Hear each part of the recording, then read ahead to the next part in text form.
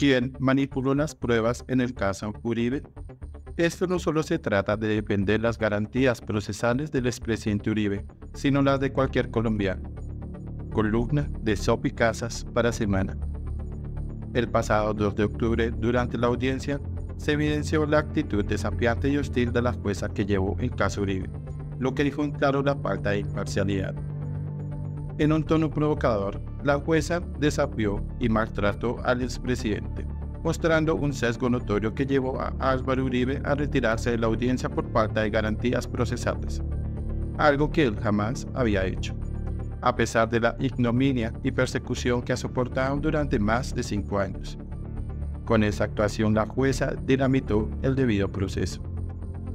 Como lo mencioné en mi columna del 2 de octubre, este es un caso colmado de incongruencias, y en esta última audiencia se demostró la vulneración de todos los derechos del expresidente. Antes de retirarse, Uribe dejó claro que le estaban adelantando un proceso en el que le habían negado las pruebas, ese mismo día, tras finalizar la audiencia, el abogado Jaime Granados, defensa de Uribe, confirmó en rueda de prensa que agotarán todas las instancias y presentarán una tutela, la cual ya fue radicada, para garantizar el respeto y los derechos del expresidente, incluso a nivel internacional, debido a las violaciones y atropellos de la jueza.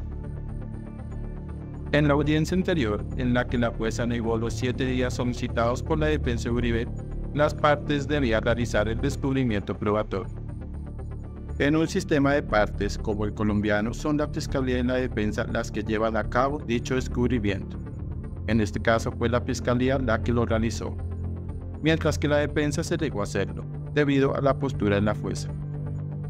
La Procuraduría intervino, no para presentar pruebas, sino para solicitar que algunas no fueran tenidas en cuenta. En la última intervención, la defensa solicitó la exclusión de ciertas pruebas.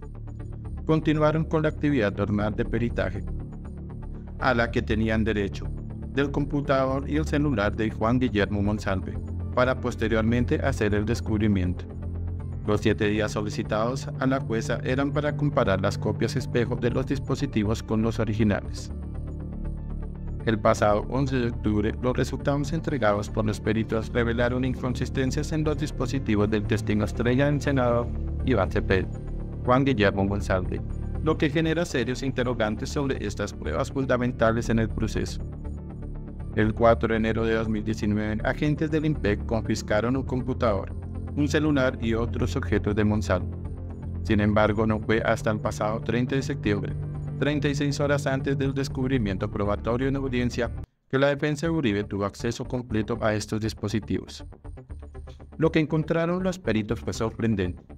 La fiscalía reportó 63.382 archivos en el celular, pero la defensa descubrió 61.350 archivos adicionales. ¿Qué archivos faltaban en la copia entregada por la fiscalía? En el caso del computador, la diferencia fue aún mayor Viendo la Fiscalía reportó 347.365 archivos, la defensa encontró más de 424.000. ¿Cómo se explica esta discrepancia de casi 80.000 archivos? Hasta ahora se han recuperado 254 gigabytes de información, pero los peritos continúan investigando posibles manipulaciones o archivos guardados. A pesar de la gravedad de estos hallazgos, la jueza se negó a otorgar los siete días adicionales que la defensa solicitó para examinar los dispositivos a fondo. La defensa de Uribe sostiene que estos hallazgos demuestran que la integridad de la evidencia ha sido comprometida. La importancia de revisar los dispositivos originales no solo radica en hacer comparaciones, sino en descubrir si hubo manipulación deliberada. Las incongruencias en los dispositivos de Monsalve no pueden pasarse por alto. Con miles de archivos no reportados y el creciente volumen de información recuperada, la credibilidad de la evidencia está en duda. ¿Quién manipuló estos dispositivos? ¿Qué se intenta ocultar? Después de revisar la información entregada por la defensa del expresidente Álvaro Uribe sobre los resultados del peritaje en los que se confirma la manipulación de los dispositivos, entiendo por qué la jueza no quería otorgar los siete días solicitados por la defensa para analizarlos. ¿Sabía la jueza que las pruebas estaban manipuladas? Tenía conocimiento previo de que existía una diferencia de 76.907 archivos entre la prueba original entregada por la Corte Suprema de Justicia, el computador de González y la copia espejo entregada a la Fiscalía. Igualmente, había incongruencias y diferencias sustanciales en el número de archivos del celular de González, de casi 25.000 archivos.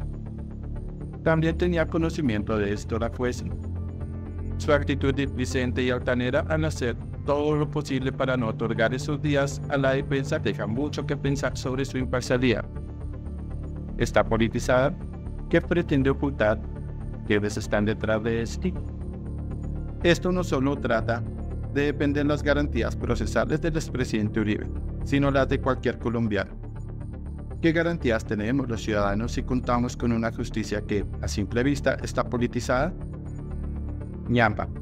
Al observar la persecución y la rápida y vergonzosa acción de la fiscal Luz Adriana Camargo contra los magistrados del Consejo Nacional Electoral, al ordenar investigarlos por supuesto prevaricato, al indagar sobre la campaña de Gustavo Petro y su gerente por violación de topes.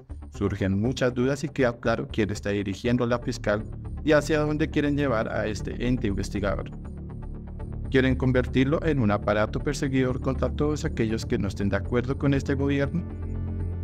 Aclaro que con el derecho que me otorga la Constitución para ejercer el periodismo y como columnista de opinión tanto en Colombia como en Estados Unidos, soy respetuosa de la justicia de los jueces y magistrados de nuestro país.